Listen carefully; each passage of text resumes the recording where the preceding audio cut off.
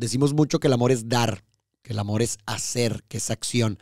Pero sabes algo que he pensado mucho últimamente, que el amor también es omisión. El, el amor también se entiende por el no hacer. Déjame te explico.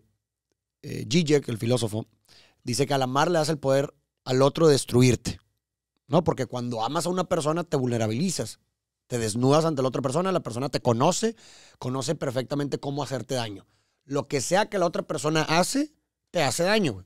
O sea, ya hay, ya hay una conexión ahí que lo que tú haces afecta al otro y lo que el otro hace te afecta a ti, porque hay amor ahí. Entonces, en este sentido, si te fijas, el amor también es no hacer. El amor es no utilizar ese poder, güey. Y cuando no utilizo ese poder para destruirte, entonces no es un acto, es una omisión. Entonces, quien también te ama, o el amor también se puede entender por no ejercer, no hacer, no utilizar el poder que me diste para destruirte, güey. Y el poder que me diste es lo que, lo que dijiste. Es que yo lo veo así. Por ejemplo, en el momento que alguien está enamorado de ti, pues tú le puedes decir algo medianamente ofensivo, pero como esa persona te ama, pues va a ser algo enorme. O sea, va a significar muchísimo más que si se lo dijera a cualquier otra persona. Claro, güey. Y sí, tiene razón. O sea, muchas veces el amor se cree como solamente se hace, se da, se da, este, se regala, eh, se dice. Pero también es lo que no se dice, lo que no se hace, lo que Correcto, es la omisión. Sí, la omisión. Y, y, y los, la omisión es diferente al acto. La omisión O sea, es diferente no- al acto. Sí, me explico. Entonces, es a lo que voy. Por eso el no hacer, güey. Sí, me explico. Entonces, y digo, Pero creo que muchas veces también se da por hecho que no lo vas a hacer, ¿no? Claro, pero por eso te digo, tú, sab- tú sabes que tienes el poder de destruir a la otra persona. A ver, yo sé que si yo engaño a mi pareja la voy a lastimar, güey. Claro. Porque ella depositó mi- eh, su confianza en mí. Entonces yo sé lo que puedo hacer para hacerle daño. O por lo menos sé lo que le molesta a mi pareja, güey. Sé lo que no le gusta. Entonces Cierto. yo sé cómo le puedo hacer daño. Pero aún pudiendo hacerlo, decido no hacerlo. Y eso es amor. El amor también se entiende por eso, güey. por el no hacer. En este sentido, el amor no es solo lo que haces, como normalmente decimos, sino también lo que no haces. Y en ese sentido también lo que dejas de hacer. Lo que dejas de hacer, correcto. ¿no? O sea, Correcto, ese- en esa triada se emerge el amor, ¿verdad? Se demuestra el amor. Puedes dejar de hacer. Puedes hacer cosas por amor, puedes no hacer cosas por amor. Y puedes dejarlas de hacer, güey. ¿Alguna cosa que. ¿Tienes alguna cosa que tú hayas dejado de hacer por amor? Es una gran es que es una pregunta. línea muy delgada también, porque ya ves que luego hay gente que quiere cambiar tu esencia. Claro. Y de que no. Es que soy así. Es que, ajá. No, no, no. O sea, que quiere cambiar tu esencia. O sea, de. Sí, por deja eso. de hacer esto porque no, porque no me gusta. Pero Claro. es algo básico de ti o que, o que pues sí. es Totalmente. Es- por eso digo que la línea es delgada. Porque, pues sí, puedes dejar de hacer cosas 100%. por amor, pero qué cosas ya. 100%, no o sea, bien. muchas veces se malentiende, ¿no? Por orgullo mismo, cuando alguien nos pide que si pudiéramos dejar de hacer algo por orgullo mismo, decimos, no, es que así soy. Pero a lo mejor esa cosa que te están pidiendo que dejes de hacer no representa nada esencial tuyo, ¿sabes cómo? Ya. O sea, creo que hay una delgada línea entre lo que es esencial tuyo, es parte de tu esencia, es parte de lo que eres, y conductas que son aprendidas con el tiempo, que no tienen nada que ver con tu esencia, sino que están condicionadas a lo mejor a una historia de vida, pero que se pueden modificar, güey. Y al contrario, que la modificación no te va a perjudicar, sino al contrario, güey, te va a beneficiar. Está en, está, en, está en el mejor interés, debería estar en el mejor interés de tu parte que modifiques esas conductas. ¿Sí, me Sí, explico? muy- digo, si tu pareja de verdad te ama, te va a decir que hagas o dejes de hacer cosas para que mejores o para que seas Correcto. una mejor persona, para poder para que puedan llevar una mejor relación. No lo va a hacer para perjudicarte. Exactamente. En teoría. Sí, por ejemplo, te voy a poner un ejemplo que algo sí me, algo, una modificación que sí me parece como esencial, que se me hace ya. Eh, pues, ¿Al- ¿Algo que, que hiciste tú o nomás es un ejemplo? no, no, no, es un ejemplo que se me vino a la mente. Ok. Eh, no me estoy proyectando por si acaso la gente pudiera pensar de que ah, es un ejemplo de tu historia. No, no, no. Pero es un ejemplo que, me- que escucho mucho, me llega mucho. Que está la típica persona extrovertida, ¿no? Que es muy social, que le gusta platicar con gente. Entonces, imagínate que la otra persona pues siente celos desproporcionados por eso, porque pues la verdad es que no cruza ninguna raya, nada más le gusta platicar con mucha gente, güey. Y la otra persona le pide que deje de platicar con gente, que deje de ser sociable, que deje de ser extrovertido cuando vaya a reuniones. Ahí sí me parece que estás atentando contra... Ahí sí, sí es la justificación de, espérame, es que yo soy así, pues me parece que sí es válida, porque sí, no se trata de... O sea, es, es parte de tu esencia el que te guste desenvolverte, platicar con gente, ¿sabes? Y ahí sí estás atentando con eso. Ahora, algo, una conducta que sea un rasgo aprendido, que o más bien algo que no me parece que sea esencial, que sí pudieran modificarse por el bien de la persona, digamos, una persona que es muy des- desordenada en su cuarto, güey, o es muy sucia en haciendo las cosas, ¿sí me explico? Pues, güey, tal vez sí te pido como pareja de que pudieras eh, ayudar, o sea, que en- Ordena tus zapatos, por favor. pudiéramos ordenar las cosas, Sí. podemos limpiar la casa. Pues no es algo que atenta contra tu esencia. O, o o bueno, me preocuparía si dices, no, es que yo soy una persona sucia. Espérate, güey, pues tú solito, tú solito te estás condicionando, ¿verdad? Y determinando a ser una persona que, que seguramente no eres, güey. Sí, entonces sí se nota la diferencia, ¿no? Entre... Y, y así mucha gente como muy, muy terca de que no quiere cambiar y dice, no, es que pues así soy. Cuando son cosas que, a ver, no te cuesta nada realmente hacerlas y, y Claro, güey. no va a cambiar. y está en pues, tu mejor es- interés. Está en tu mejor interés, correcto. Digo, también otra línea delgada es, es de, mm, el que tú, pues, ¿sabes lo que se dice? De que no, tienes que amar los efectos de tu pareja también y que no sé qué. Amar los efectos de tu pareja, güey. Mm, sí, bueno, se dice que hay que amar los efectos de Es tu pareja, la pero palabra. ¿tú crees que sí? Realmente se pueden amar, Los efectos de tu se pareja. pueden aceptar, o sea, se reconocen y se aceptan, ¿no? Se pero reconocen, amar, se reconocen y se aceptan. claro, pero amar los defectos, ¿tú crees? Se- Pues- o sea, haciéndole justicia a la palabra amar. Mm, no, la verdad es que yo creo que hay Está raro, defectos, ¿no? hay defectos que sí, pues simplemente no te, no te gustan y no te van a Y no te gustar. van a nunca. gustar. Y no tienen por qué gustarte, además. Exactamente. O sea, no O estás sea, obligado. aquí, ahí te va la distinción. Amas a la persona. Ajá. Y porque la amas, buscas cualquier, como, como tú dijiste, cualquier cosa para, para ayudarle a desarrollarse. Quieres que se desarrolle. Entonces, si hay cierta cosita, volviendo al ejemplo de la suciedad y de la desorganización, si hay cierta cosita, ese defectillo, que su corrección o su modificación le va a hacer mejor a la persona, pues si yo amara al defecto, pues ¿por qué lo cambio, güey? Ok. ¿Por qué lo modificaría? ¿Sí me explico? O sea, no, yo amo a la persona. Y, porque, la amo a la persona, ya. Creo que está en su mejor interés ayudar a superar esta situación o este rasgo que no le está haciendo bien, güey. Claro. ¿Sí me explico? Entonces, eh, yo amo a la persona. Con sus defectos, sí. Tiene defectos, es una persona imperfecta. Pero eso no quiere decir que yo tenga que ser así, am- amar a, a- a sus defectos. No, no creo yo. No, yo no creo. No sé qué piensas tú. Pues sí, definitivamente. Bueno, es que como que se tiene muy romantizado esto y se escucha muy bonito, de hecho. Pues sí, es más hay que muchas nada- cosas es que poético, se, es ¿no? poético, sí, o sea, hay muchas cosas que se escuchan muy bonitas y de que, ay, Y sí, qué padre. por lo Por lo mismo poético, de que, sí. ajá, porque se escucha poético. Pero ya analizándolas, la neta es que muchas cosas son poco prácticas y hasta pueden llegar a ser perjudiciales. Sí, también habría que ver qué- a, qué referim- a qué nos referimos con defectos, ¿no? O sea, con si nos referimos, a lo mejor yo me estoy yendo a un extremo. Sí, sí, de- eso, es- eso es un buen punto también. Sí, sí, un defecto es de que, ah, pues, no sé, para alguien pudiera verse como un defecto, por ejemplo, que tenga las cejas muy pobladas, por ejemplo. Por, o sea, Ajá, Pues exactamente. obviamente sí, o sea, ahí sí se entiende. Claro, Pero si un defecto es de que cuando se enoja en el coche manejando, se baja del coche y quiere ir, ir a golpear a otras. ese- Ay, cabrón, pues espérate. O sea, ahí sí mejor, pues lo aceptas, pero como lo amas, dices, pues tal vez hasta Quiero- lo intentas ajá. modificar, ¿no? O sea, lo intentas cambiar. Justo, eh, lo acabas de escribir perfectamente. A eso yo me refiero con defecto. Claro. O sea, Sí, sí, a, sí. Esas, a esas conductas que son nocivas tanto para la persona como para la otra persona que, que está contigo.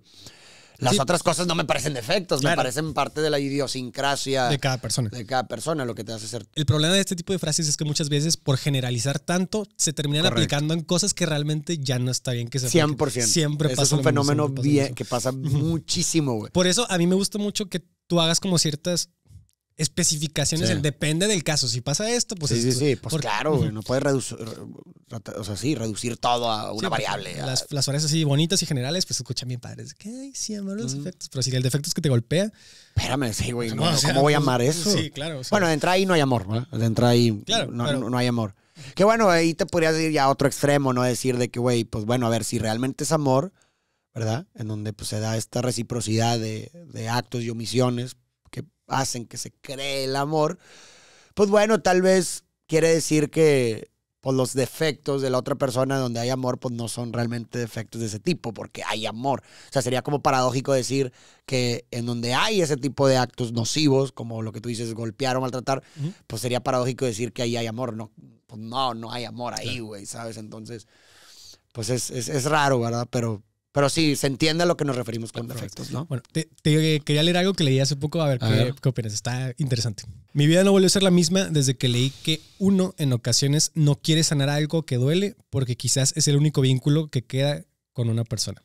Sal, qué fuerte. O sea, lo está viendo como que, como que el dolor es un síntoma de amor, ¿no? O sea, yo, yo lo veo así como en el duelo, cuando muere una persona, porque es algo que yo he experimentado y muchas personas también.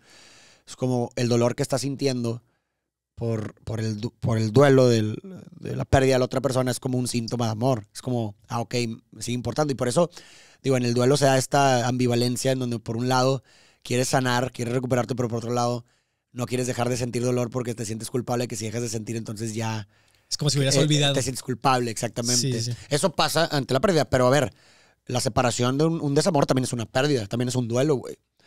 Entonces, des- de, por ese lado también me, me hace sentido esa frase, o sea, como que el, el dolor eh, lo, lo quieres seguir sintiendo porque es una manifestación de que, de que tal vez te sigue importando. Y a lo mejor no Y- quieres la indiferencia. Y sí, se, y sí se percibe así, yo creo. O sea, una persona que deja de sentir, imagínate, dos personas se separan y la primera persona que deja de sentir, pues ese dolor por la Mm. separación es como, ah, pues ya lo superó, ya se olvidó de él. Y, cu- y cuando realmente no es así, o sea, creo que el dolor no es el único síntoma.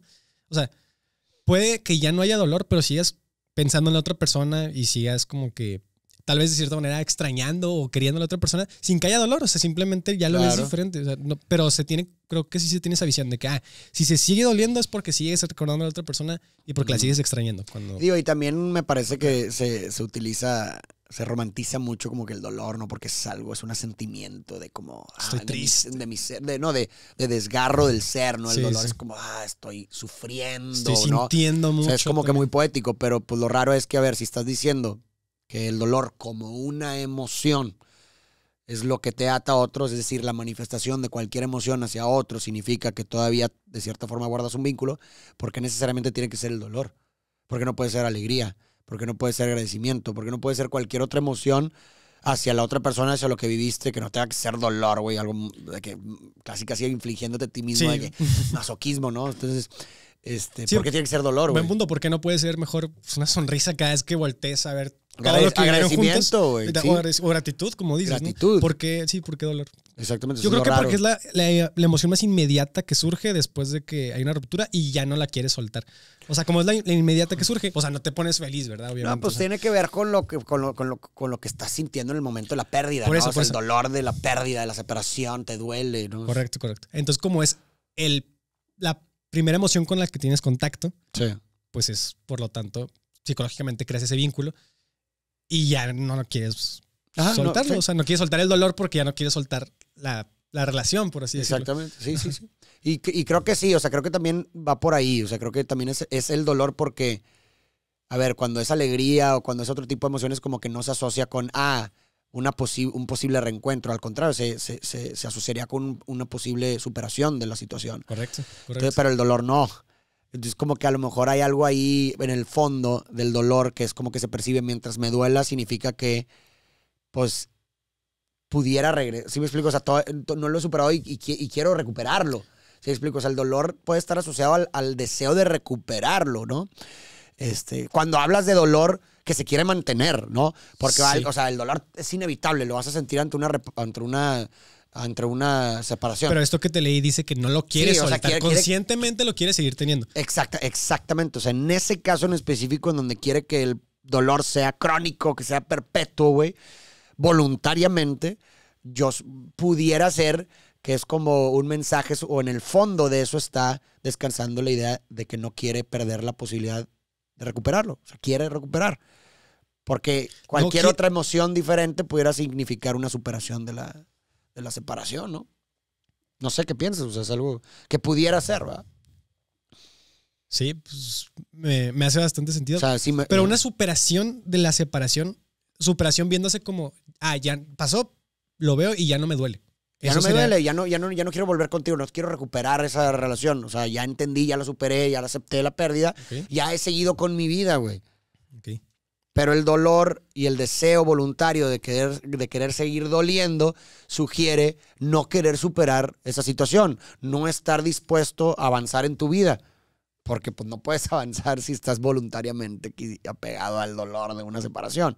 Voluntariamente apegado, ¿sí me explico? O sea, cuando tú voluntariamente quieres seguir ahí. Entonces, para mí tal vez pudiera significar que no quieres cerrar la posibilidad de recuperar eso. Y aparte también el dolor. síntoma que importa. Es síntoma de que, pues, como dices, o sea, es el- lo que dijiste al inicio, de que el duelo es un síntoma de que se amó. Pues aquí en este caso es, es- pues a ver, el dolor es síntoma de un duelo que estás viviendo por la ruptura, por Natural. la pérdida, destrucción o muerte de una relación. Pues es síntoma de que. Y creo que es más bonito verlo así, de que, ah, me está doliendo porque lo amé.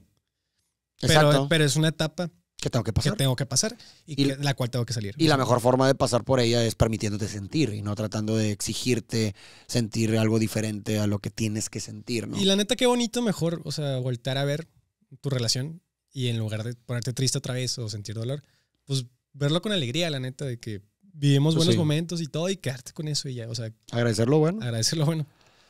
Ok, muy bien. Pero bueno, pues sí, eso no lo hace menos doloroso tampoco. ¿va? Sí, le digo, es muy fácil decirlo, Sí, la claro. neta, ya cuando lo estás viviendo, no, no, es tan, no es tan fácil. ¿Pasamos a las preguntas o qué de Por la gente? favor. Esta es una dinámica que vamos a estar en- en- eh, a- vamos a empezar a implementarla para que ahí en los comentarios pues nos vayan dejando sus preguntas y las preguntas con más likes y cosas así pues las vamos a interpretar como que son preguntas que quisieran que abordemos. Sí, también en Instagram, o sea, y luego ponen la cajita de comentarios Farid, entonces pues también ahí pueden Sí, meterse a responder sus preguntas. Pero pues siempre vamos a dejar como un, un apartado de preguntas eh, hechas por ustedes que se nos hagan interesantes, 100% anónimas. 100% anónimas exactamente para abordar. Entonces, pues bueno, ¿te parece? Adelante. La primera pregunta dice, ¿qué significa que mi ex está ya con alguien más a un mes de la ruptura? Órale. Órale, pues a ver, lo primero que me surge- primero, la pregunta individual. ¿Te ha pasado a ti? Sí, ¿Sí te pasó? pues a ver, no sé si un mes exacto. Ah, bueno, sí, claro, pero ¿no? Sí, déjate sí. un mes, o sea, un lapso poco tiempo. considerable Sí, de tiempo pe- pequeño, ¿no? Sí, sí, me pasó. pasó, me pasó. Te- o sea, ¿A ti, te, espérate, ¿a ti te pasó? a mí. Es que bueno, no, no, no, no que esté con alguien más ya en una relación, pero, sí, sí, salí- sí, sí me pasó que, pues no sé, que a lo mejor estuvo con alguien, ¿sí me explico? Luego, luego después de la relación. Ya, ya. O sea, después de haber Sí, tenido en, una en mi caso también, a ver, no era una relación formal, pero sí se ve, o sea, ya salían. Pues. Ajá, eso sí, Correcto. pero... sí, y Pero no es Jessica, ¿eh? O sea, Sí. no, luego la gente se va a imaginar de que estos güeyes cuando cortaron. No, no, no, no es Jessica. Este, pero sí me pasó. Y a ver, ¿cómo, cómo te sentiste tú? Vamos a hablar de, Pues, de tus sentimientos. A ver, no puedo. No, ok, bueno, hablando de mis sentimientos, claro. Pues obviamente mal. Es, ¿por, qué, ¿Por qué mal? Porque yo creo que a todo el mundo le gusta ver que mínimo les dolió un poquito que se separaran, ¿no? O sea, y tal vez puedas ver que el que ya esté con otra persona es que no le importó nada. Sí. Entonces, tal vez por eso se pueda sentir un poco. como la canción, ¿no? Esta de Bumburi, que dice, odio, odio quiero más que indiferencia, Odio quiero más que indiferencia. porque el dolor hiere menos que el olvido. Ah, pues eso, eso queda como un- la- lo que estamos hablando hace un momento, de querer sentir el dolor, porque el, el dolor hiere Sí, menos que el olvido. Porque el dolor le menos que El olvido significaría superar la situación, o quiero superarla, quiero recuperarla tal vez, abrir la posibilidad, entonces duelo. Pero sí, este, Sí, eh, y- entiendo y- eso, o sea, como que es la primera interpretación que ves cuando tu pareja luego, luego después de cortar está con otra persona, es como decir, es indiferente ya a ti. Y otra cosa creo que, mm, que pueda alimentar ese sentimiento, a mí no me pasó en lo personal, pero pues a alguien le podría pasar, es que, no sé, viéndolo así fríamente con cualquier aparato de tecnología, que yo sé que no es el mejor ejemplo, pero para que Ujú. se entienda mi punto, nadie cambia un celular, o eh, idealmente nadie cambia un celular mejor por uno peor, ¿no? Ujú. O sea, siempre cambias, o, o cualquier cosa, siempre cambias por algo mejor, en teoría. Entonces tal vez el que te corten y enseguida esa persona ande con alguien más sugiere que esa persona es mejor que tú. Porque Tú lo pudieras interpretar lo así. podrías eso. interpretar así. Sí, no sugiere, perdón. Lo puedes interpretar así. Entonces digo, también podría ser motivo de... Digo, totalmente es doloroso, ¿no? Muchas cosas du- duelen, ¿no? No, y, hasta hay películas donde, bueno, películas, gente que se hace esa pregunta de qué tiene él o ella que, o sea, que no tenga yo, sí, claro. Entonces también puede ser motivos de inseguridades. Digo, Sí, sí, no, digo, claro, o sea, más bien te quita utilidad, te quita... Valía. Digo, que no debería de quitártelo, nomás, pero así se siente Sí, se siente. por todas las cosas que has dicho tú, ¿no? Si tienes una autoestima bueno, alto y duro, pues sabrás que no es así. O sea, que simplemente, pues... Sí, y a ver, y Mm. que la, y que la otra persona pues tiene el derecho a hacer lo que ella quiera con su vida. Y Que que sí, no, te, que no te te- da explicaciones tampoco. No, Ah, digo, bueno, pero ahí también creo hay que debería de haber, hay ah, bueno, es que es un tema delicado, pero es que bueno, hay- tienes a muchos tipos de personas, ¿no? Tienes el tipo de persona que lo hace con toda fe y legocía y ventaja para hacerte daño, Exacto. que ahí sí me, sí me parece que no hay responsabilidad afectiva de parte de la persona. A ver, compartiste tiempo con tu pareja, compartiste intimidad, se quisieron, ¿sabes? O sea, como que faltarle el respeto de esa forma. Porque siempre- sabes que lo vas a hacer sentir mal. O sea, volviendo a, lo, a lo que hablamos en un inicio, sabes. estás utilizando el poder. Que te confirieron para destruirlo y eso no es amor. Correcto. Y a ver, cuando hablo de que eso no es amor, pues me estás diciendo, oye, pero ya se separaron, pero no me refiero al amor de estar juntos. Puedes seguir amando, a lo mejor no de una forma romántica de pareja, pero yo puedo... Dile cariño si quieres. Ajá, o sea, le, le puedes seguir teniendo cariño a una persona que amaste, ¿verdad? O más bien en donde hubo amor. Entonces, eh, e- ese tipo de personas sí se me hace de que, oye, güey. sí, es muy bajo. La neta es, es, es muy golpear en bajo. donde sabes que le va a doler mucho. Sí. o sea. Pero bueno, también tienes el otro lado de la- del, del- el, otro tipo de persona que, pues, que se, se enamoró, por lo menos empezó a sentir. Pero hasta, algo por hasta alguien eso, más. Hasta eso, yo creo que, o sea, imagínate que a mí me pasa eso. Yo lo que haría sería, pues, esperar a que la otra persona que quise viva un proceso de duelo, tal vez un poquito Sí. más largo, no enseguida ya hacer pública mi relación y ya empezar a mostrarle a todos que ya no sé, y sabiendo que esa persona lo va a ver Sí. y sabiendo que se va a sentir mal, pues no, tal vez te esperas tantito. Sí, yo también lo haría así. Yo, yo. Yo también, Yo, yo, lo- yo la verdad lo haría así. O sea, si me llegara a pasar de. O si me- o, bueno, creo que si me hubiera pasado, yo sí creo que lo hubiera hecho así. O sea, no hay. lo- o sea, yo le diría a mi nueva pareja como si hubiera sido en un lapso de tiempo corto. De que, a ver, lo importante somos tú y yo. Y lo que nosotros sentimos y lo que nosotros sabemos, ¿no? ¿Qué importa si ¿Qué demás importa gente demás? O sea, ¿sabes? De que qué importa si se enteran. Eso, es un entere, conflicto que ¿no? yo, o sea, como que siempre había tenido porque a mí no me gusta mucho andar subiendo cosas a redes, en, o sea, de mis relaciones y todo eso. O en general ya últimamente casi no subo historias así, nomás subo reels. Y hay gente que le encanta que su pareja la ande sube y sube y sube para que todo Sí. el mundo vea. Y yo pienso sí, la neta, de que lo importante somos tú y yo. O sea, Yo siempre he creído que el amor no se presume, sino se demuestra. Ok. O sea, hay una frase, creo que era de la escritora Jane Austen, que decía, entre más tenga que hablar de que te amo, menos te amo.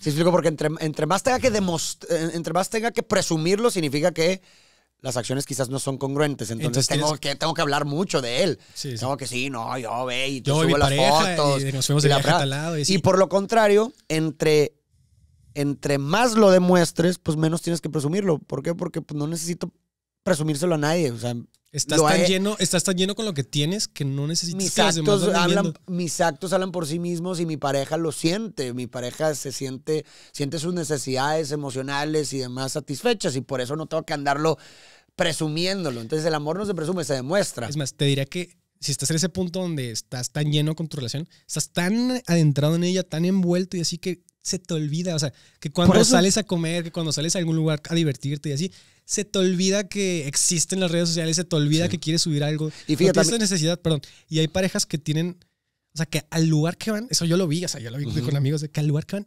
400 fotos, Está que ya ni siquiera se la pasan bien por estarse tomando fotos para poder subir historias. O sea, Totalmente, totalmente. O sea, y, y algo a mí, a mí sí me llegó a pasar algo así, fíjate, yo por eso lo, lo comparto, porque así lo experimenté. En, en algún punto en donde tuve una relación en donde sí se sentía, pues que las necesidades no estaban satisfechas, o sea, se sentía más insegura la situación, se demandaba más eso. Me demandaban más eso. Pero después de que resolvimos nuestras situaciones, empezamos ya a entendernos más, se satisfacieron las, las necesidades emocionales, eso dejó de importar. Literal. O sea, dejó de ser importante, que está en congruencia con lo que te digo. O sea, entre más, o sea, yo creo que ahí la persona como que se siente insegura, ¿verdad? Entonces busca cualquier cosa que le haga sentir la seguridad que los de que de- de- o de o- o- sí puede ser externa o también interna en donde a ver pues bueno si no estoy si toda esta parte no, se, no, no estoy sintiendo seguridad en toda esta parte no hay actos que me demuestren que me hagan sentir seguro en la relación pues bueno entonces por lo menos eso quizás vaya a demostrar que sí me que, que, que sí me quiera ¿Y crees que también puede aplicar con otras cosas como regalos, por ejemplo? Cómo O sea, que si no tienes la parte emocional totalmente satisfecha, o por lo menos como te gustaría, la cubres con de que ah, te regala un chorro de cosas y te lleva un chorro de helados y tal, tal, tal. O no. Pues depende de la persona. Si es una persona que no nunca tuvo esas actitudes y de repente las empieza a tener, pues bueno, sería sí. interesante. ¿verdad? Ya, bueno, pues, Pero bueno, hay personas que así les son de- demasiado, son parte, es parte de su esencia, Sí, el, claro. ser detallistas, etcétera. Entonces, yo me fijaría como en el contraste, ¿no? Y en la causa. O sea, Esa- ¿cuál sería la causa de por qué tuviste este contraste? ¿verdad? correcto. Sí, porque a ver, hay gente que tal vez desde que, aunque la relación esté perfecta, les encanta andar subiendo cosas. O sea, Sí, pues, ah, como dices, hay que fijarse en el contraste. Si ves que hay un bajón en la cantidad de satisfacción emocional que tienes en tu relación y de la nada hay un subidón. O sea, al unísono hay un subidón con la cantidad de cosas que quieres postear y que tu pareja te exige. que- Sí. Pues ahí tal vez sí significa algo. Pero bueno, volviendo a la pregunta, creo Sí. que todavía no hemos respondido a la No, no, pregunta, que es. ¿qué significa? ¿Qué significa? ¿Qué pudiera significar? Lo primero que se me viene a la mente, tal vez un clásico, es que pues la persona que empezó a andar con alguien, con- después, de que te- después de que tú cortaste con ella, pues ya tenía a otra persona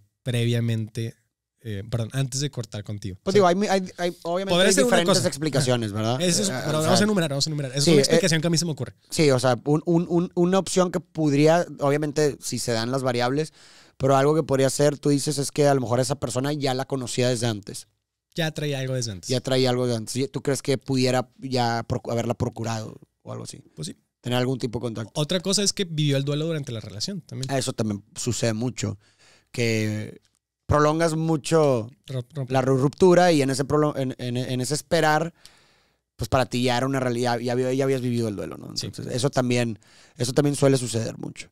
Entonces ya eh, cuando rompes, pues ya es como, ah, pues ya, ya me sentí mal durante el tiempo que tenía que sentirme mal. Entonces pues ya... Ya viví la desilusión, ya. y, y tal vez ya mentalmente estás en una plataforma un poco mejor para poder entrar a otra relación. Correcto. Aunque ya sí. es poco tiempo de haber roto oficialmente, pero duelísticamente. pues, Exactamente. Y eso creo que, o sea, y, y creo que estas, este desglose también nos ayuda como no a estigmatizar, ¿verdad? O sea, como que a veces tendemos a pensar que, ay, esta persona cortó hace un mes y anda con otra persona y necesariamente pensamos como si algo, algo negativo, ¿no? Sí, o algo claro. así, cuando no necesariamente, o sea, no, no necesariamente, o sea, como en este caso que tú dices.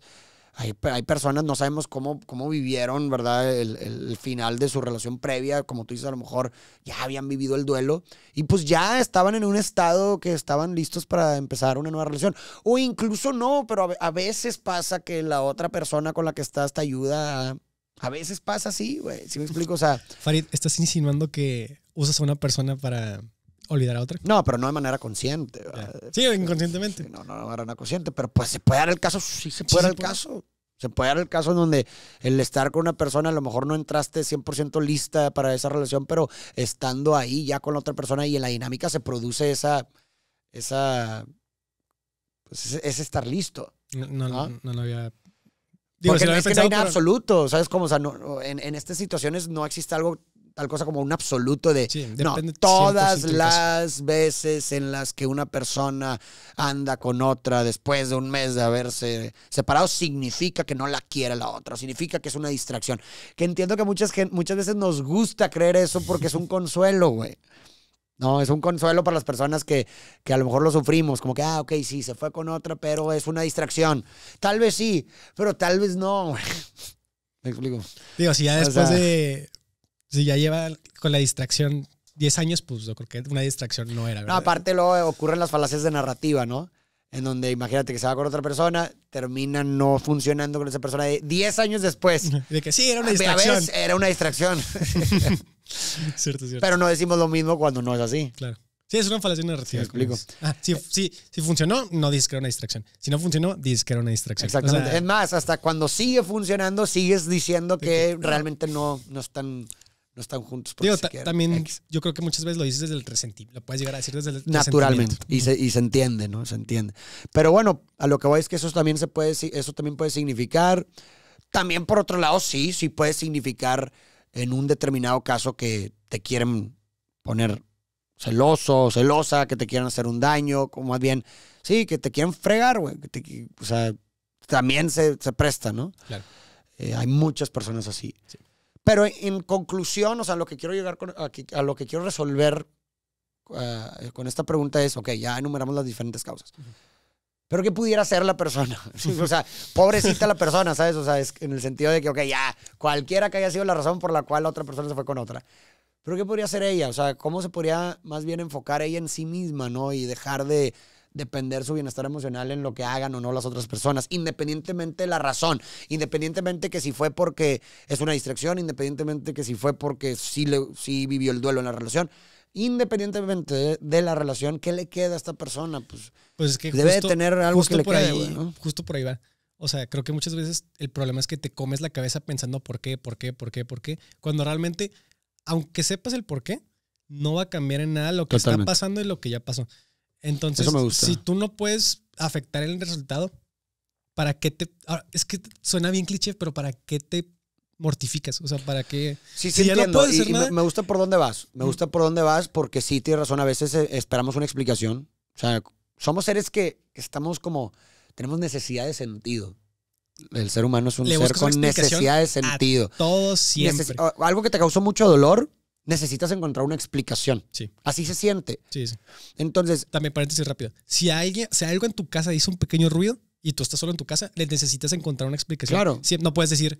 O sea, es muy difícil decir, ¿quién sabe? Y dormirte otra vez. O sea, totalmente. le vas a inventar una historia por muy Sí, o sea, que más bien podríamos decir que aquellas cosas que contrarian tus expectativas de lo que debería de ser o de lo que quisieras que sea, necesitas encontrar una explicación del por qué para, por ok, ok, entiendo por qué no fuera como quise. ¿no? Aunque, ajá, exacto. O sea, encontrar una explicación, aunque no vaya a cambiar lo que ya pasó, sí, pero como consuelo. te da Como te consuelo. Que partiendo de ahí es buen punto. Exacto, entonces eh, eh, muchas veces por eso mismo pues ter- terminamos sumergiéndonos en un, en un círculo vicioso de dolor más dolor, dolor. ¿Por qué? Porque estamos doliendo, estamos tratando de razonar ese dolor, tratando de encontrar una explicación, pero el problema es que al no encontrar la explicación terminamos doliendo más.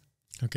¿Sí explico por qué? Porque creemos que al encontrar la explicación, entonces se va a ir el dolor. Entonces estamos sujetando la desaparición del dolor a una explicación. Pero al no encontrarla dolemos más. ¿Por qué? Porque como no podemos encontrar la supuesta cura para el dolor, entonces terminamos doliendo por no encontrar la cura para el supuesto dolor, produ- produciendo un doble efecto, un doble dolor. ¿no? Entonces yo creo que definitivamente habrá veces en las que nadie te va a dar una explicación, en las que es más, incluso aunque tú le estés pidiendo a la persona de frente, se puede dar el caso en, que- en que ni siquiera la otra persona sepa, güey. Porque se puede no saber, güey. ¿Sí, Sí, explico? sí, Se puede no saber. Oye, es que porque te dejé de gustar de la noche a la mañana. Puedo no saber, güey. Es más, hasta ¿Sí la otra explico? persona le gustaría saber también. Hay veces exactamente en las que siquiera esos. Y a mí me ha pasado, de que, güey, me encantaría decirte. Es más, ni siquiera por ti, tam- o sea, sí por ti, obviamente. Pero, Pero también por mí me encantaría saber por qué, güey. Pero a veces ni siquiera la persona sabe, güey. Entonces, son demasiadas variables externas a ti en donde estás dependiendo tu sentir, Claro. ¿no? O sea, en que, en que te den una explicación uno, y no nada más en que te den una explicación, sino que la persona que te va a dar la explicación sepa con certeza. Son demasiados factores externos. Entonces, eso es depender, eso es, ay cabrón, eso es dejar tu bienestar emocional en factores, en muchos factores que no dependen de ti. Entonces, habrá veces en las que uno, puede ser que la otra persona no te quiera dar una explicación, desaparezca. Dos, en las que aún cuando la persona quisiera darte una explicación, no sepa. Entonces, ¿qué quiere decir esto? Que habrá veces en las que simplemente por tu cuenta, sin explicación, sin disculpas, sin arrepentimiento, sin cierre, tengas que avanzar. Por tu bien, por ti, güey. ¿Y cómo puedes hacer eso? O bueno, una buena forma de adentrarte en ese proceso, bueno, aceptando el dolor. El dolor que no se acepta se vuelve sufrimiento. O sea, la fórmula del sufrimiento es dolor más no aceptación. Ese es sufrimiento. Porque el dolor es inevitable, lo vas a sentir, es una pérdida, es esperable que lo sientas, lo tienes que sentir. Pero esa represión del dolor, esa no aceptación de ese dolor que estás viviendo por determinada situación, hace que ese dolor se devenga siento que es como, en sufrimiento. siento que es como agarrar, no sé, un metal caliente y no, no soltarlo. O sea, la no aceptación es no soltarlo, no soltarlo, no soltarlo. Y Sí, pues mientras no, lo no sigas teniendo en la mano, dolor. mientras lo sigas teniendo en la mano, pues te va a seguir doliendo. O sea, Exactamente. entonces, Entonces, yo creo que lo que nos toca es aceptar la situación, reconocer la realidad porque la realidad es, ¿verdad? O sea, tú no, vas, tú no puedes cambiar la realidad. No, no, es una batalla inganable. Entonces, creo que un buen primer paso es reconocer la realidad, reconocer la pérdida, reconocer el dolor, vivir el dolor, dejarte sentir el dolor, confiando en que después de vivir este proceso y, lo que, y después de sentir lo que tengas que sentir, se van a producir las consecuencias óptimas en tu vida. Van a venir nuevas cosas que te van a hacer resignificar este suceso como algo bueno por haber pasado. que la vida te quitó algo, pero para darte algo mejor. Exacto, o sea, finalmente, a ver, no es el fin del mundo, güey. Es el fin de un mundo, no del mundo. Me explico, y afortunadamente vendrán otras risas, vendrán otros momentos, vendrán otras, eh, otras historias por escribir. O por lo menos tenemos que tener la confianza y la esperanza de que así va a ser, güey. ¿Sabes? Y digo, ya hablando de algo de una experiencia más personal, a mí lo que genuinamente me, me ha funcionado, Bueno, creo que también muchas veces ese dolor se amplifica porque te empiezas a imaginar mil cosas. O sea, de que seguramente se fue con el- mi mejor amigo, bueno, no con mi mejor amigo, pero con fulanito de tal y ya sabía porque ya los había visto juntos y te empiezas a dar mil cosas o tal vez yo hice algo malo, yo soy así, yo tengo esto. Pero ¿qué más da? Es, ah, es una que más da. Y, y dos, a mí lo que literalmente. El otro día, te, lo juro, estaba en mi. Bueno, ya el otro día, tenía como un mes. Este, X, hay una desilusión un poquito mm, grande. Entonces estaba así pensando de que no, pues a lo mejor este. Y, y pensé eso de que, pues a ver, haya sido lo que haya sido, ya no se puede cambiar, ¿no? Está perfecto. Voy a elegir creer que fue algo muchísimo más X de lo que estoy pensando. O sea, algo. Y ya, o sea, y, ni modo, pasó. A seguir Y- con, a- y- con lo que sigue. Claro, Sí. y a ver, muchas veces como que tratamos nuestro mecanismo de defensa, y yo me identifico mucho porque si es uno de mis recursos emocionales, es la razón. O sea, yo soy una persona muy Razonar, racional. razonar. Sí, yo también. Pero está mal, güey. ¿Por qué, güey? O sea, ahí te va. Ahí te va, mí- ahí te perdón. va mi, mi- mi punto de vista. No es que esté mal razonar. Aguanta. Yo siento que, sí, yo sé que no está mal. Pero en general, o sea, poniendo en la balanza, creo que a mí me ha dado muchísimo más cosas buenas razonar todo que de las que me ha quitado. Claro, pero hay momentos. Eso es lo que quiero llegar. Eso es a lo que quiero llegar. Hay momentos para razonar. Volviendo a la Watts, lo que siempre decimos, la frase que nos encanta. El agua se limpia mejor, el agua turbia se limpia mejor dejándola en paz. Eh, ¿A qué me refiero con esto? Que a mí, y te lo digo, lo he experimentado con ansiedad. Eh, últimamente he tenido niveles altos de ansiedad. Y precisamente mi recurso emocional es razonar. O sea, pues sí, tú no controlas sentir el estímulo. Estoy- de repente mis niveles de ansiedad se elevan por determinada circunstancia que lo detona. Y lo primero que intento hacer por, por ser la persona que soy es razonar. De que, güey, es una tontería. ¿Por, por qué estás sintiendo esto por esta situación que... Ta, ta, ta, ta, ta, razón, razón, razón, razón. Y no, y no se va. Se queda, les- pues, por, por supuesto, porque la, la ansiedad, si me explico, Eh, eh, no, no, no, la emoción, ¿verdad? Mm, En ese momento donde está turbia el agua, al contrario, lo que yo estoy tratando de hacer está perpetuando el sentimiento. ¿Por qué? Porque al decir yo, tratar de razonar de que, güey, es una pendejada lo que estás sintiendo por esto, pues entonces me siento peor, güey. Porque estoy sintiendo algo por una situación que no debería de sentirlo, porque es una pendejada. Ya te entendí. Por eso te digo que hay momentos para razonar. Ese no es el momento. Ese es el momento para sentir. Ok. Ese es el momento para apagar la cabeza. ¿Sí me explico? Sí. Y decir, estoy sintiendo ansiedad. Pero, eh, pero, Siéntela. pero es que hasta eso lo razonaste. O sea, razonaste todo el proceso de que hay momentos para razonar y hay Pero ¿en momentos qué para momento sentir. lo razoné? Por- ¿Ya después? Cuando estaba en un estado normal, güey. No nublado. No nublado por la ansiedad. Porque la ansiedad, insisto, Pero aún así, o sea, ¿no te pasa que cuando estás intentando, o sea, cuando te estás en ansiedad, por ejemplo, empiezas a razonar todo eso de que no, pero y después dices, ya, o sea, que fluya, pues, o sea, que pero entonces ahí ya te lo estás permitiendo sentir. por eso, pero razonaste el permitirte sentir, ¿sabes? Antes o después o durante. Pues es- no sé. o sea, Sí, es- o sea, digo, puedes razonarlo en el momento, Sí, que y- sí te entiendo. a eso o es a lo sea, que voy, o sea, sí- que sigue final- siendo parte, pudieras decir, como de una razón. Exacto. Pero a lo que yo me refiero cuando hablo de tratar de razonar todo, es como que tratar de precisamente lo que venimos diciendo, este mecanismo de, ok, estoy sintiendo esto, ¿por qué no debería de sentirlo? Ya. ¿Por qué debería dejarlo de sentir? Sí, no, no ese, ¿Sí es- no, no ese, ese razonamiento. O sea, ajá, me refiero al razonamiento de que lo que estoy sintiendo no tiene sentido. Exacto. Ese razonamiento. Ese es el. Porque si te pones a, pensar desde arriba, par- Paréntesis rápido. Realmente no tiene sentido, pero eh, ese razonamiento es mejor para cuando ya se te haya despejado la vista. Exactamente. Sí, sí, entiendo. Sí, porque, a ver, ponte a pensar. A ver, estoy sintiendo ansiedad. la- o sea, realmente no hay una situación que represente una amenaza para mi integridad, para mi seguridad. No lo hay, pero la siento. Entonces, ese, ese razonamiento es, es ¿qué quiere decir? Oye, es una tontería lo que estás sintiendo porque no hay ninguna situación que represente un peligro para ti real. A ese tipo de razonamiento me, me refiero, al, a encontrar el por qué no debería de sentir lo que estoy sintiendo. Ya. El tratar de invalidar a través de la razón lo que tratas de sentir. No es momento para razonar en ese momento, es momento de sentir. ¿Sabes cómo? Y la verdad es que es- ese, ese cambio sí fue una gran diferencia en, en, mi, en mi experiencia, en la forma en la que me relacioné con, en este caso, con mi ansiedad. O sea, definitivamente se volvieron a producir esas mismas circunstancias, esas mismas situaciones, pero la diferencia fue que ahora ya no fue, ya, ya ni siquiera lo, ter- lo terminé sintiendo, güey. ¿Ok? Pero bueno, vamos a pasar por... La- creo que esa sí la sí, resolvimos, o sea, creo que sí la abordamos bien esa Perfecto, pregunta, me ¿no? gustó, me gustó. Ok, ahora... Uh, esta está buena. güey. a ver. ¿Extrañas a la persona o extrañas los momentos o la idea que tenías de esa persona? Pues si lo analizamos con la analogía de la del río, ¿de quién era? ¿De Epicteto? La de que nadie se baña dos veces. Ah, en el río. Heráclito. Heráclito. Pues yo creo que extrañas lo que te hacía sentir esa persona o cómo tú te sentías con esa persona. La net, muchas veces. Porque esa persona, a ver, si ya pasaron un año de que estuviste con esa persona, pues ya muy posiblemente si vuelves a estar con esa persona, sean las cosas muy diferentes. Porque Digo, cambiaron. sí. Los Digo, yo, yo creo que yo creo que definitivamente es una idea. Te aferras a una idea. ¿no? O sea, es una a representación. un recuerdo. A un- a digo, una idea que se sustenta por algunas, ¿Por recuerdos? pero recuerdos selectivos. Ok.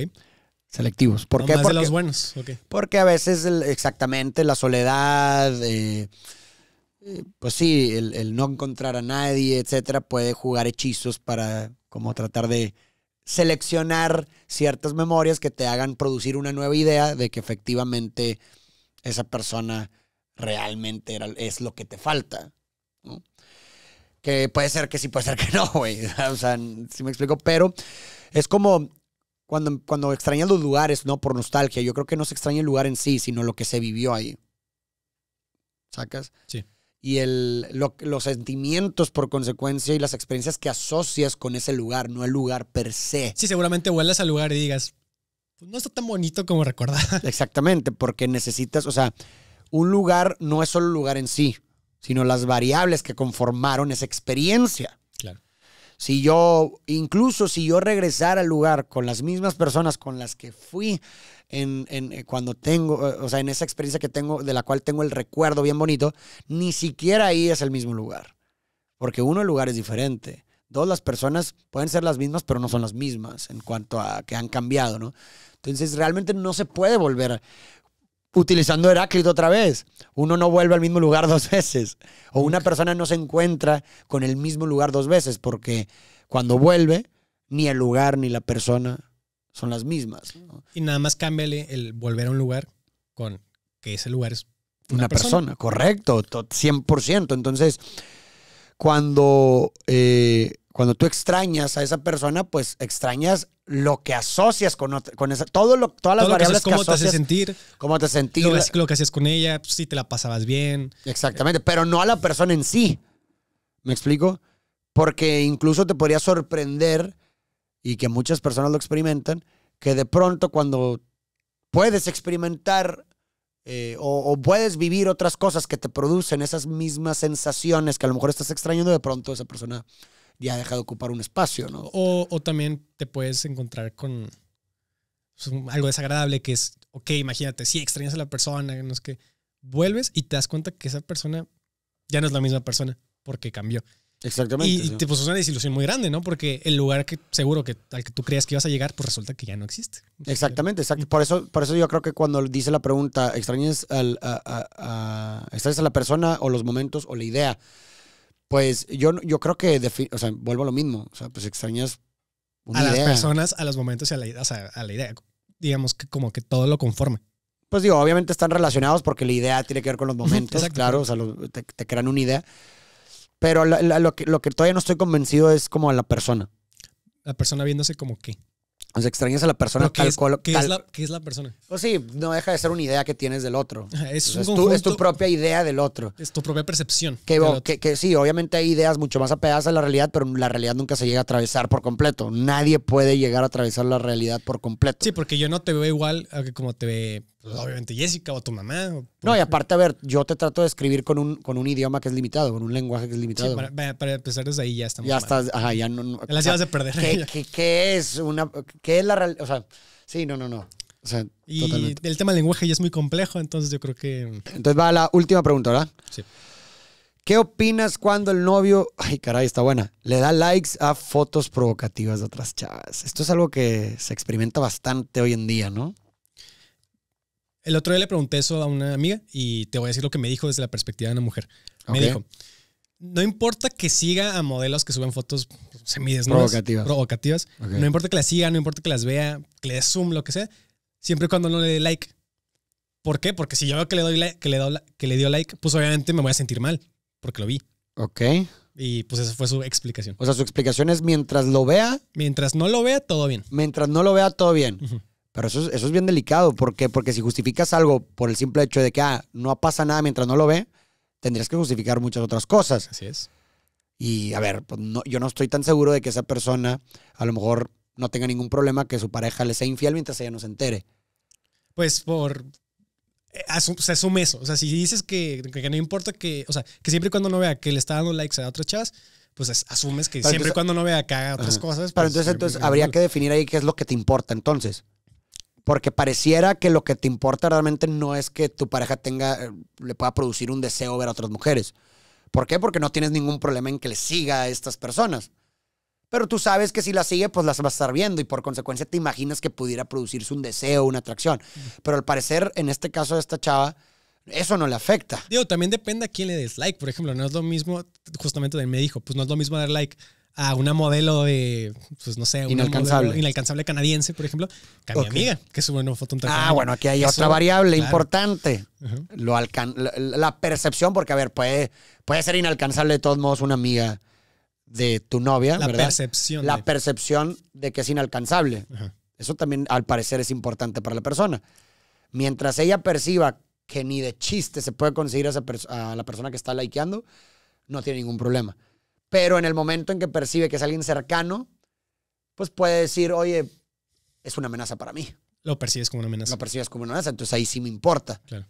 Ok, entonces hay una segunda variable interesante. Entonces, Y, y también se da mucho que si el hombre le da like al post de, de una chava, pues la novia se enoja. Pero si es al revés, que la novia le da Sí. like a una foto de un modelo o de algún tipo así que sube fotos sin camisa, pues normalmente el hombre no se enoja o no es muy común. ¿Será? Pues yo creo que no es muy común. Ay, no estoy tan segura. Sí, hay muchos hombres muy celosos, güey.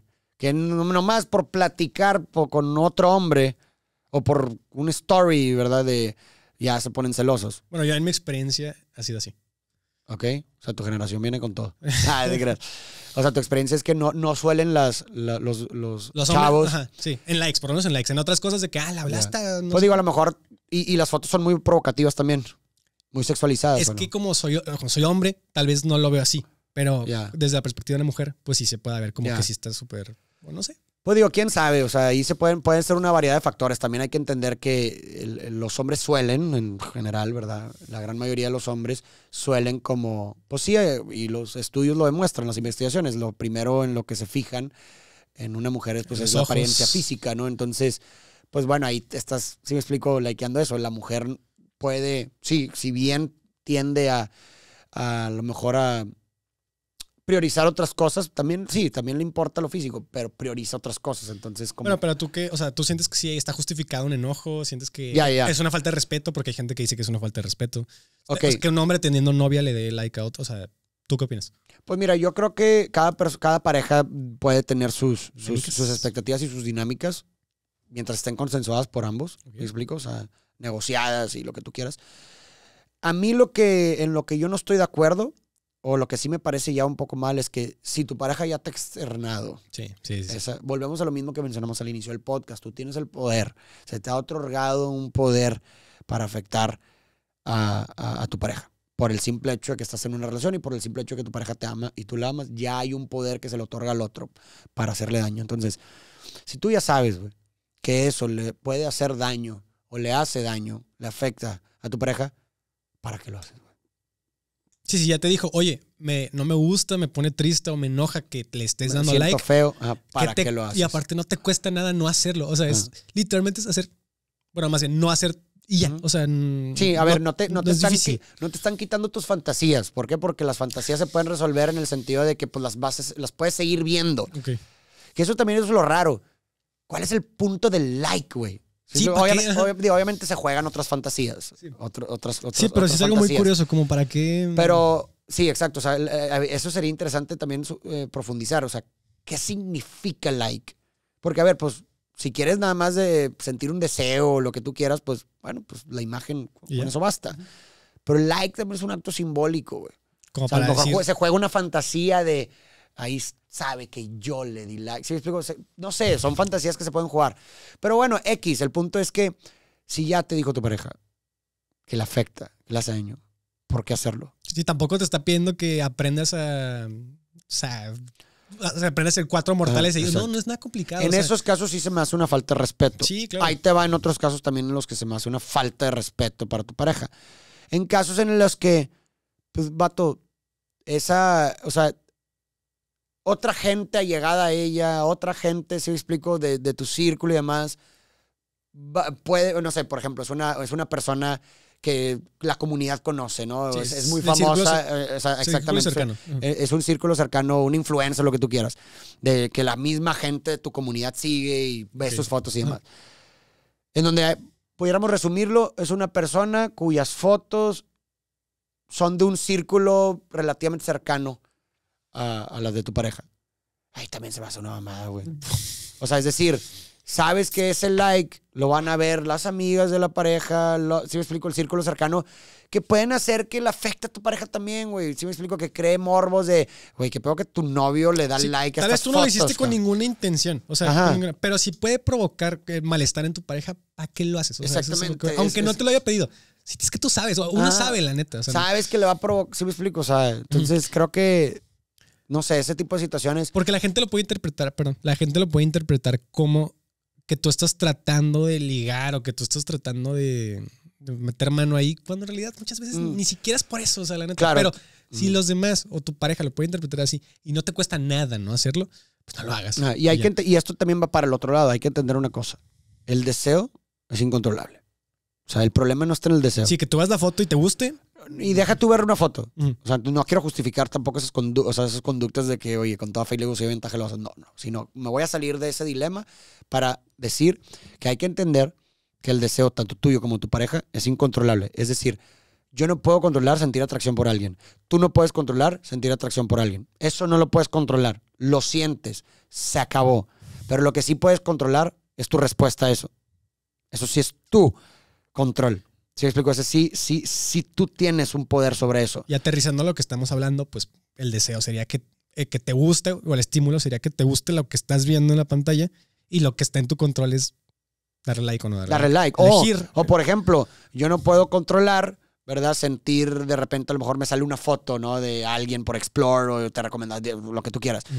Y sentir atracción, wow. Pero sí puedo controlar no seguir a esa persona. Sí. No, no ponerme en la situación de que me sigan apareciendo esas fotos. O puedo controlar ponerle mute. Ujú. Mutear y ya, no quiero que, o sea, sí, wow, madre, me causó mucha atracción, mucho deseo. Pero ya ahí, pum, se acabó. Ya lo realicé, listo. ¿Sabes? Pero yo puedo controlar eso. No es como que estoy condenado, güey. No, pues es que a mí me, yo no voy a dejar de ver Sí, porque luego ahí puedes dejar, ahí puedes ocupar como excusa de que no, pues, o sea, o sea, Ujú. me gustó y pues no lo pude controlar. Y le, le claro que sabes como, Claro, de sí que- puedes. o sea, Claro que sí puedes, no. Pero lo que, lo que quiero decir con esto es que también esto se puede, esto puede hacer que se dejen de sentir personal muchas cosas, güey. ¿Sí explico? O sea, como Ya, ya te entendí. Sí, me explico. En- O sea, entender esto te puede hacer que dejes de sentir personal ese tipo de cosas. mucha- muchas cosas. en general. En general, digo, obvia- obviamente cada quien tiene su umbral. Ajá. Y pues bueno, es entendible que una persona pues se sienta, o sea, no le guste, aunque entienda y lo que tú quieras que pues que una persona ande viendo, ¿verdad? Pues Sí. fotografías o así. Pero pues sí, sí puede ayudar a que te tomes las cosas menos personal. O sea, a que si alguna vez tu pareja se le hace atractivo a alguien y está viendo fotos de alguien, pues no es como que, ah, me va a dejar por esa persona. O, si me explico, o sea, como que, pues, güey, pues es un... se la trae naturalmente y listo. El problema no está en que la traiga, el problema es que cómo responde esa atracción. Ahí es donde yo voy a enfocarme en lo personal. Ahí es donde yo me voy a enfocar en lo bueno o malo de mi pareja, en lo que decide hacer con ese deseo, no con el deseo per se. Estoy yo consciente que mi pareja va a tener seguramente fantasías con otras personas. Que, ok, como soy un ser humano imperfecto, prefiero no saberlas. Pero eso no quiere decir que yo sé que las puedas tener y no pasa nada que las tengas, güey. Me explico, porque el deseo no lo puedes controlar, lo entiendo, eres un ser humano, güey. Pero lo que me preocupa no es que tengas tus fantasías y que tenga, y, y, y sí me explico, obviamente respetándome y dándome mi lugar Sí, siempre, que eso es importante. Eh, yo, yo, yo entiendo que tú tengas sus fantasías. El problema no está en que las tengas. El problema está en cómo utilizas el poder de, hacer, de destruirme, a mí, de hacerme daño. Punto. En cómo respondes a ese deseo. Eso es lo que a mí me importa. Entonces, yo insisto, eso puede ayudar a personas no A sé, tomarse a, a menos relacionarse mejor con ese tipo de cosas, güey. Y pues bueno, ya creo que acabamos creo las que cinco preguntas. Las, las cinco preguntas, correcto. Me gustó, la neta, buena dinámica. padre, estuvo padre. Mm. Gracias por escucharnos. Déjennos sus preguntas Por o sus comentarios ahí en, en la sección de comentarios para que, y, y likeen, denle like a los comentarios, que, a las preguntas que más les llamen la atención para poder abordarlas y pues platicar de estos en el siguiente podcast. Chao, Muchísimas gracias. gracias Nos vemos en el siguiente.